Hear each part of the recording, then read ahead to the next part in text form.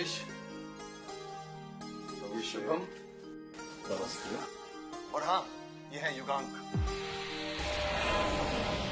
हाय ओ तो तुम हो युगांक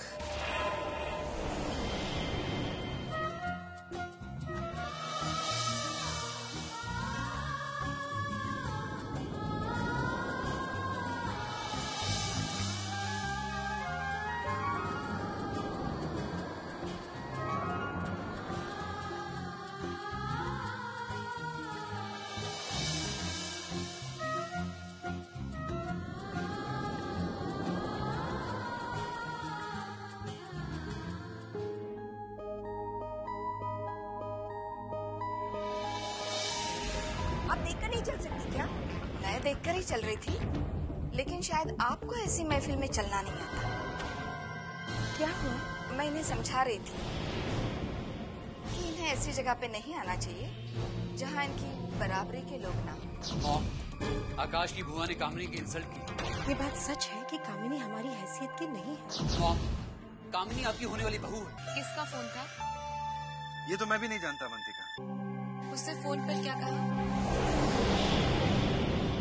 वो फ़ोन पर मुझे मेरे और विक्रम साहब के रिश्ते के बारे में कुछ बताना चाहता है। फिर तो युगांक मुझे लगता है कि वो सिर्फ़ तुम्हारा दुश्मन होगा जो तुम्हें विक्रम साहब के परिवार की निगाहों के आगे गिराना चाहता है। अवंतिका हम अभी तक विक्रम साहब के दुश्मन के बारे में पता नहीं लगा पाए। मेरा नया दुश्मन कहाँ से आ गया? हाँ तो युगा हो सकता है कि उसकी दुश्मनी तुमसे इसलिए हो क्योंकि तुम विक्रम साहब का साथ दे रहे हो। हाँ ये बात तो हो सकती है अवंतिका वैसे मैं एक बात कहूँ युगा। मुझे लगता है कि इससे पहले कोई तुम्हारे बारे में विक्रम साहब को और उनके परिवार को बताए तुम्हें खुद ही उन्हें अपने बारे में बता देना चाहिए। यही तो बात है अवंतिका कि मैं चाहकर भी उन्हें अपने बारे में सब कुछ नहीं बता सकता।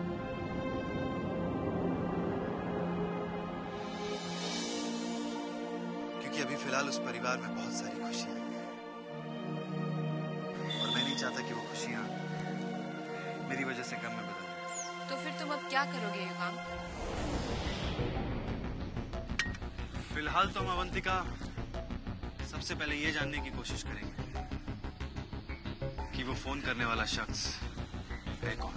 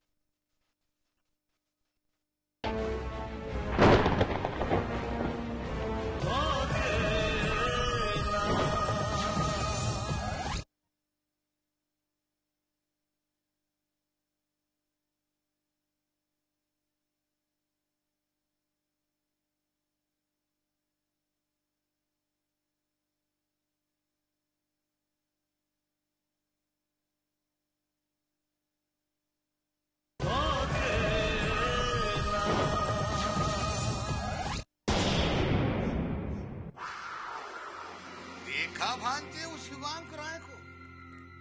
कैसा खुश हो रहा था सगाई में? अरे ऐसा लग रहा था कि जैसे सगाई उसके घर पे हो और हम तो उसके मेहमान हैं चक्कर चला के। हाँ मामा। मैं जानता हूँ। वो तो ऐसे मौकों की तलाश में रहता है। नहीं विशेष। वो तो हमें अपना समझता है। इसलिए अपनापन दिखा रहा था। जरा सोचो भांजी। उसे अपनापन दिखाने के लिए हमारा ही घर मिला था चक्कर चलाती मैं तो कहता हूँ कि कोई अपनापन, वो अपनापन नहीं है। इसमें इसकी कोई चाल है। नहीं, मामा जी। इसमें उसकी क्या चाल हो सकती अब जरा तुम खुद सोचो, भांजी। जीजा जी का पार्टनर तो वो पहले से ही है।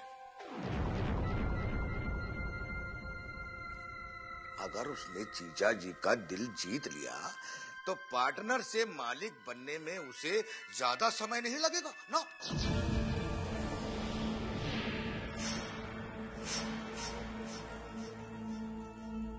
नहीं, मामा जी। जहाँ तक मैं युगांग को जानता हूँ वो कभी ऐसा नहीं करेगा। ठीक है भांजी। आज तुम्हें मेरी बातों पर विश्वास नहीं है तो ना सही। लेकिन कल को कभी ऐसा हो गया तो अपने इस मामा को दोष नहीं देना कि तुम्हारे इस नारायण मामा ने तुम्हें समझाया नहीं। चक्कर चला। देखा भाई सी बात मामा जी के भी समझ में आ गई। लेकिन अफसोस की डैड ये बात समझ ही नहीं रहे।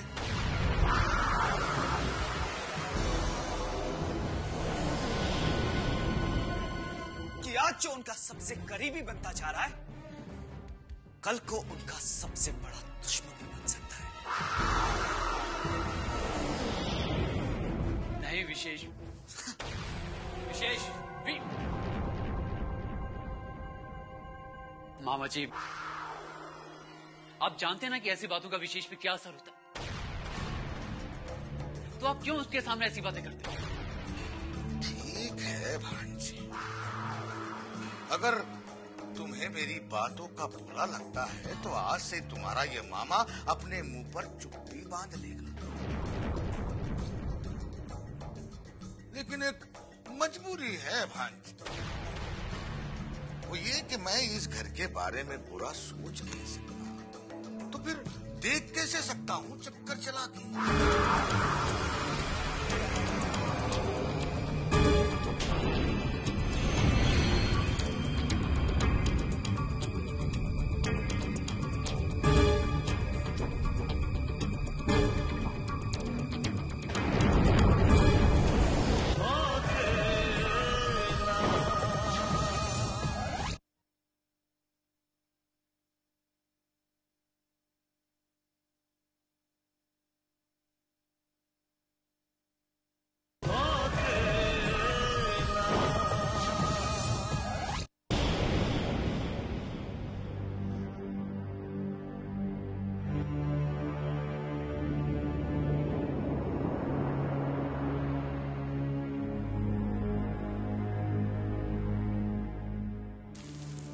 आकाश बेटा किस सोच में डूबे हुए हो मॉम डैड के बारे में सोच रहा था।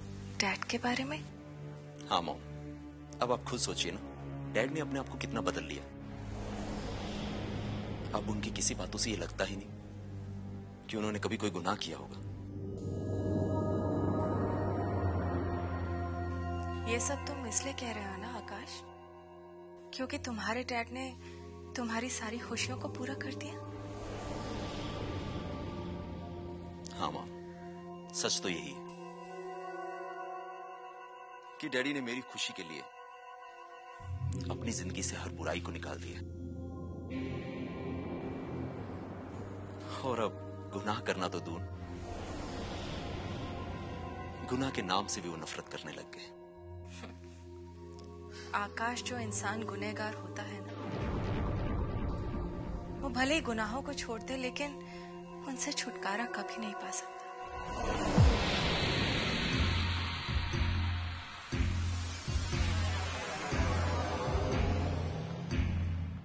क्योंकि वो उसकी ज़िंदगी में शामिल हो जाते हैं। वो भले ही उसे दिखाई ना दे, लेकिन हमेशा उसके साथ रहते हैं। लेकिन मॉम, मुझे नहीं लगता कि डैड के दिल में गुनाह के लिए कोई जगह बाकी हो। यही तो तुम गलत सोच रहे हो आकाश।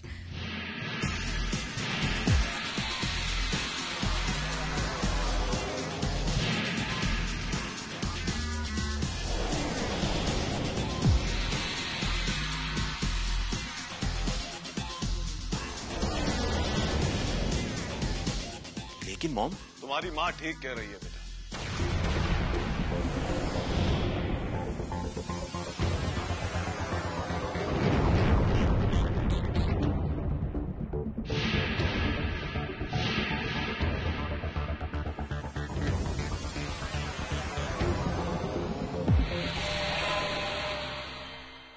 उस जहर की तरह होता है, जो एक बार किसी के अंदर समा जाए तो फिर उसका निकलना मुश्किल हो जाता है।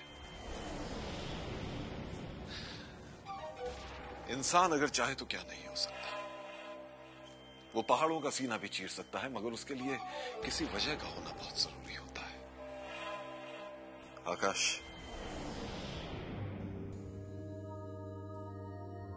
मेरे लिए सुधरना बहुत मुश्किल था। लेकिन मैंने तुम्हारी वजह से कोशिश की और मैं, मुझे इस बात की खुशी है कि मैं कामयाब हुआ। हाँ आकाश। आज जो मैंने बुराई के रास्ते को छोड़ा है, उसकी वजह सिर्फ़ तुम हो। तुम ही ने मुझे सही रास्ता बताया, वरना न जाने मैं कहाँ भटकता रहता।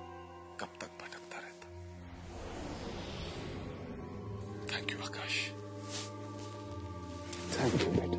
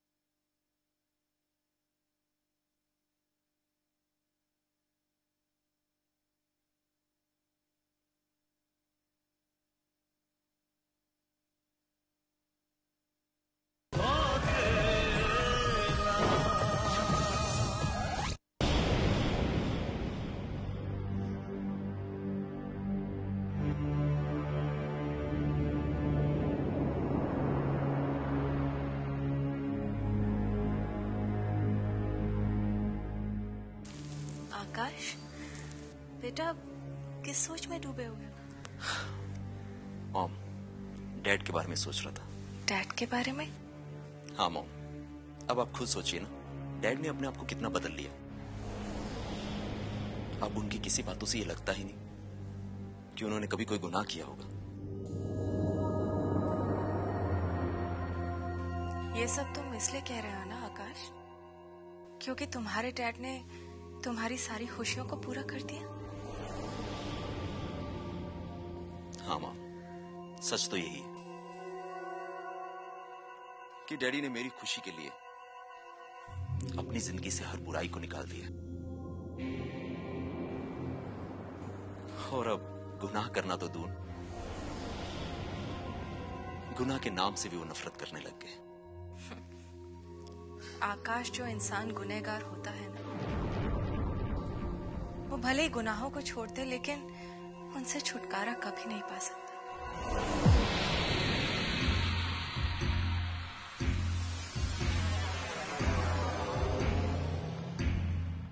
क्योंकि वो उसकी ज़िंदगी में शामिल हो जाते हैं। वो भले ही उसे दिखाई ना दे लेकिन हमेशा उसके साथ रहते हैं। लेकिन मॉम मुझे नहीं लगता कि डैड के दिल में गुनाह के लिए कोई जगह बाकी हो। यही तो तुम गलत सोच रहे हो आकाश।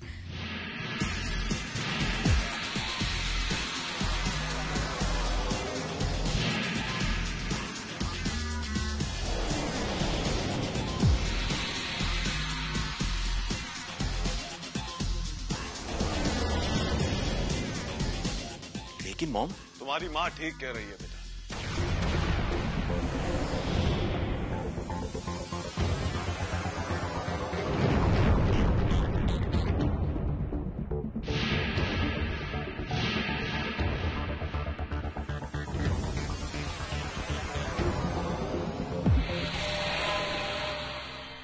गुनाह उस जहर की तरह होता है, जो एक बार किसी के अंदर समा जाए। फिर उसका निकलना मुश्किल हो जाता है। इंसान अगर चाहे तो क्या नहीं हो सकता।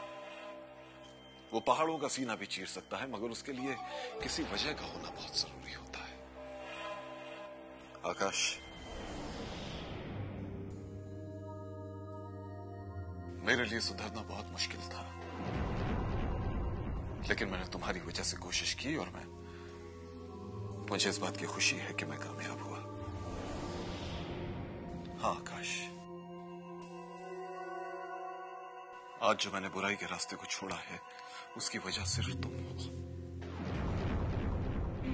तुम ही ने मुझे सही रास्ता बताया। वरना न जाने मैं कहा भटकता रहता, कब तक भटकता रहता। Thank you Akash.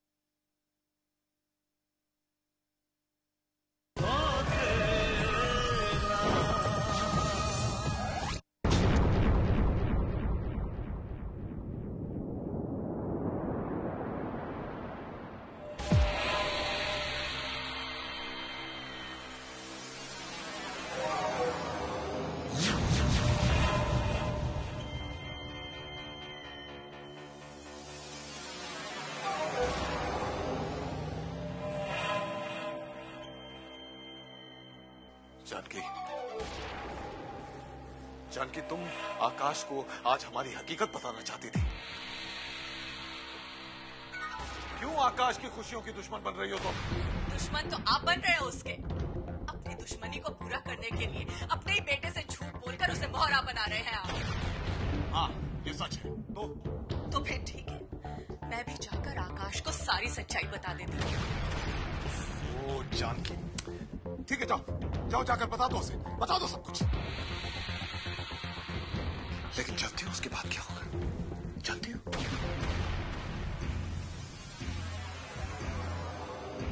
उसके बाद आकाश हमसे नाराज़ हो जाएगा।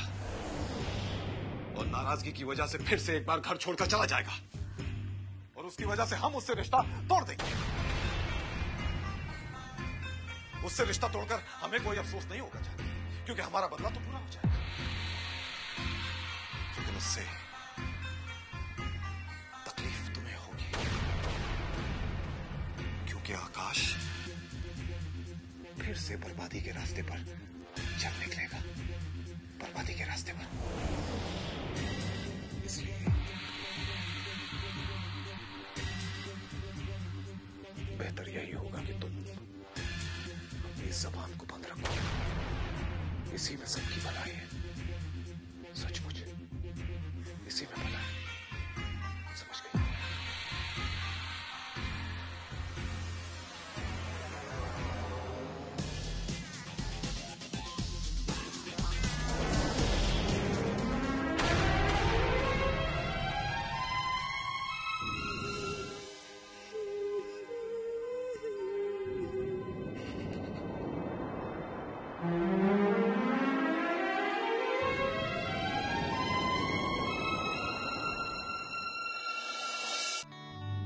Don't worry, Avantika, everything will be fine. Don't worry. साहब राना आपसे मिलना चाहते हैं। हाँ उन्हें अंदर बुलाओ। ठीक है जनाब।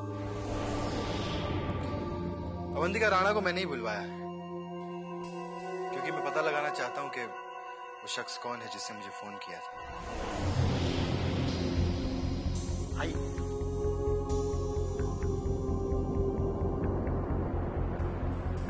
आओ राणा कहिए युगांग साहब मुझे कैसे याद किया? राणा तुम्हें इस नंबर के बारे में पता लगा?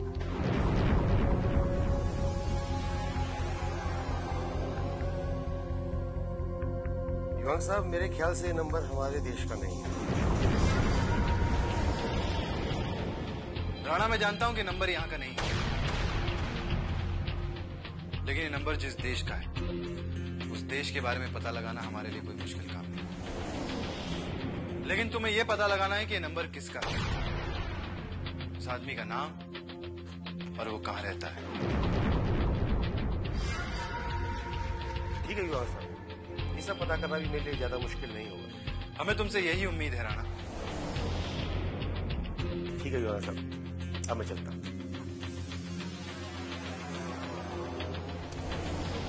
Thank you